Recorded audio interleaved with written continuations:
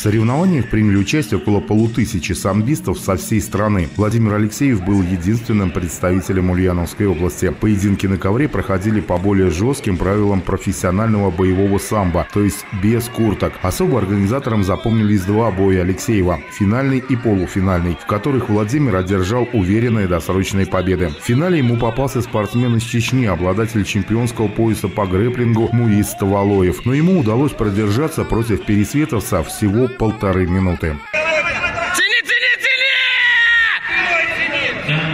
Сда- Сдаю, стоп! Молодчик! Крас... Удачи.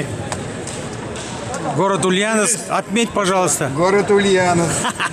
Пару слов чемпиону. Спасибо большое.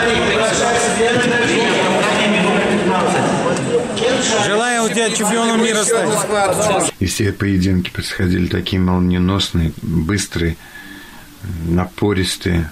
Хотя соперники у него были очень-очень именитые и имели пояса по джиу-джитсу и были чемпионами из Дагестана. Было, может быть, немного ожидаемо, потому что у Володи очень хороший уровень.